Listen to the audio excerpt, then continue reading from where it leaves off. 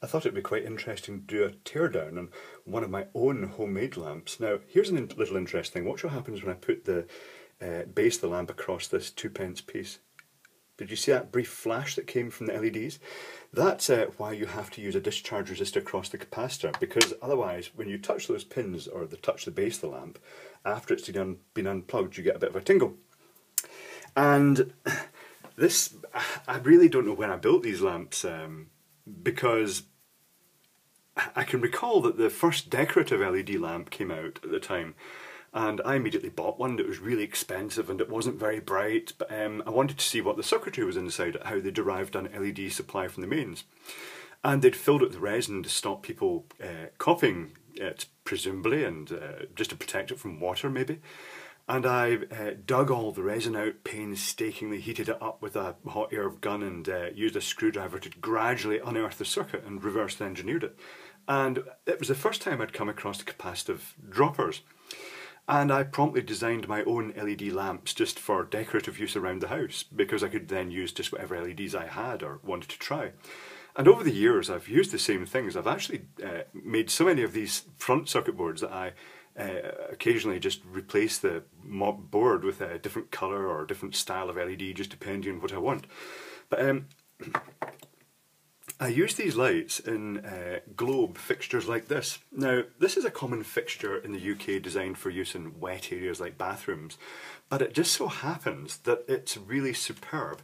If you put it down on a uh, tabletop or a bench, or a shelf and you drill a hole underneath to give access to the cable and you bring a cable in with proper strain relief I'd guess underneath because uh, you don't want the cable yanked out. Uh, and then you actually screw this onto the, the shelf. Then you can just basically use it as a decorative light fitting, fitting with an LED lamp in it. And uh, well to give you an idea of what that would look like here's one I've got glowing at the moment. Um, and I'll show it from the light but you see it just basically creates a soft diffused globe of light and these globes are available uh, quite cheaply and in a wide range of sizes. Uh, I'll show you the, oh, the size. They're also made of glass, but you get, also get plastic ones. So um, this one here is the one that has been lit in my hall for possibly continually 24-7 for at least a decade. It's been on for so long. And because LED lamps weren't so readily available, I was building my own um, using these compact fluorescent lamp bases because the compact fluorescent lamps were readily available. So uh, I'm wondering, uh, I think this was the first one, not, I think this might be a second generation, not 100% sure. I designed it to snap in the same way the two halves snap together. It's the same circuit board, but it's missing, yes, it's missing some components because I discovered this one's got blue LEDs in it, and I discovered with one of them that because the early blue LEDs were not reliable, well, even current LEDs aren't that reliable, um, I discovered one day I came home and the light fitting was off. And uh, I thought, oh, wonder what's happened there. Is there a power cut or something like that? And it turned out that one of the LEDs had gone open circuit. And at the time, to allow for the possibility of it going open circuit with a, a low value of capacitor, because the high voltage capacitors were a wee bit hard to get at that time, I bridged it with Zener diodes, two Zener diodes in series. I think they're rated about 47 volts each, and it's a 100 volt, yeah, 100 volt capacitor electrolytic, and two 47 volt Zeners in series. But in reality, what actually happened was uh, the Zeners shunted the current, which was about, oh, at that it would be about 20, just under 20 milliamps, uh, at the best part of 100 volts. So they actually got pretty hot. What, what is that? Um, each Zener would be dropping about 47 volts, so the power dissipated would be uh, 47 volts times 0.02 equals... Yeah, each one was dissipating the best part of a watt, so the circuit board went a bit hot looking in the vicinity, and uh, that's the point I decided, you know what, I'll even just get rid of the capacitor, and, uh, as in the case of this one, so it, it means it's just a little bit, to the camera it looks flicker, flickery, but in reality, to the human eye, the LEDs are off for, uh, certainly in our 240 volt supply, are off for such a short length of time that uh, they, you know, you don't really get a, a, strong visual flicker. And to fit it all in, uh, I can see here, looking at this, I found a 330 nanofarad capacitor, I'll doodle this out in fact, uh, that fitted inside the base. So the capacitor is mounted underneath, or actually it's mounted on top of the circuit board with the wires going down the side. And then that put goes into the bayonet cap base. And I made a few of these uh, with uh, these look discoloured because it, these are um, blue LEDs, I think, with the tips ground off because the the top the flat top LEDs weren't available uh, in blue and other colours at that time. And I just basically ground the tips off and uh, put a drop of resin. And I, I actually dipped the LEDs in resin just to put a new lens in the front to make them wider viewing angle. I did that a lot uh, in that era because um, the the straw hat LEDs were just not readily available at that time. And when I was making TV props and film props, the I needed LEDs that looked sharp and visual but weren't too glaring uh, with the sort of five millimeter lens effect, where it would actually be a very directional source of light. So I'll doodle the schematic for these down. I'm just going to grab a notepad.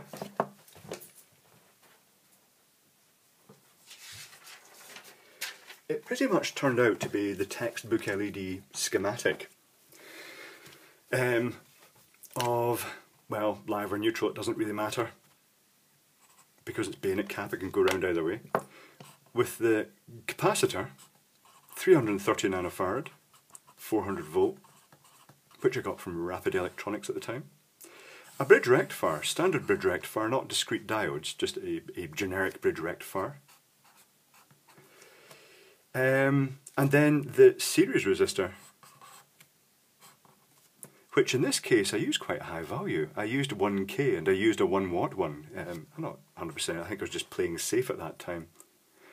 And if we draw this exactly um, as I'd done it then, it had the capacitor, um, then it had the two Zener diodes in series to shunt the voltage down if it ever went open circuit, and as it happened, it did go open circuit. And that shows that some of these uh, lamps you get these days that just use the low value voltage value capacitor, that capacitor could potentially pop in those uh, if the lamps do go open circuit. But then after that, it was just tons of LEDs, loads of LEDs, as many. I'm saying as many as I could fit on, but uh, I've obviously done them in pretty patterns in these. Are they all the same? No, that that's different. Uh, it's done in circles. I had lots of fun uh, designing these circuit boards at the time. So latterly I just basically got rid of all these components. Um, they were 47 volt uh, he said, writing it next to them after he scrubbed them out. What was the capacitor I used? It was 100 volt. Um, 22 microfarad. So yeah, so it evolved, it went on from that. I decided to uh, make a circuit board that would potentially, I think, allow more LEDs to be fitted in. And that's what this is here. This globe um, has a dedicated circuit board. Again, it's not got the smoothing, but uh, although that's visible, that shimmer is visible to the camera, it's not visible to the naked eye. And in here, instead of using a lamp basing, I removed that completely and just made a circuit board which has uh, how many LEDs has it got? 1, 2, 3, 4, 5, 6, 7, 8, 9, 10, 11, 12, 13, 14, 15, 16, 17, 18, 19, 20, 24 LEDs. And in this one it does actually have the discharge resistor because I'd learned at that point you can get a zap off the pins and that's what that little resistor is obviously needed for and uh, obviously this one plugs in with a plug so you could actually get a tingle off the pins of the plug when you unplugged it. But um, the 330 nanofarad with about 24, about 50 volts worth of LEDs actually passes about 22 milliamps so if anything I could have gone a wee bit lower but having said that the next step down at that time was 220 nanofarad. Uh, the 270 nanofarad weren't a standard value at that time. In this case I used a 1 megohm uh, discharge resistor and the series resistor was just an ordinary quarter watt 470 ohm. Now let's see what's that going to be dissipating then. The, let's get a meter and see what's actually being dropped across that um, resistor.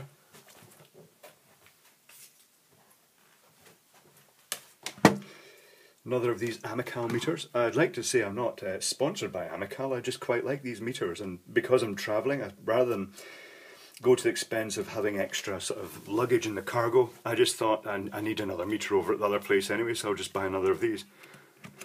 So I'm going to be measuring volts AC, Still got the protective film on. I should remove the protective film off that, shouldn't I? Because it looks tacky when you leave the protective film on. And I'll measure the voltage across that resistor, which is a 470 ohm resistor. So it's about 10.3 volts. So that makes the current through the circuit, it's a 470 ohm resistor, 10.3 volts, I equals V over R, so that's 10.3 divided by 470 ohms equals 21.9 milliamps. So let's say 22 milliamps through the circuit. So what's the dissipation then? Uh, that's the current times the voltage, which was 10.3, did I say? Um, means the resistor is actually dissipating 2.25 0.225 watts. So it's within its rating, but to be honest, I should have actually used a, a, couple of resistors there, and there's plenty of room for them, so I, could have used two in series, or or indeed just used a lower value resistor like 220 ohm. But but anyway, I was experimenting at that time. It was just prototypes, but um, yeah, but this one here has just been lit for an unknown period of time, the red one. It's, it's just, you know, the, the room is basked in a red glow at night for, well, if it's been lit like that for, yeah, I'd say at least a decade now. It just really, it's been an incredibly reliable lamp. It's been very good. But uh, yeah, the fun of making your own lamps when the other ones just weren't available yet.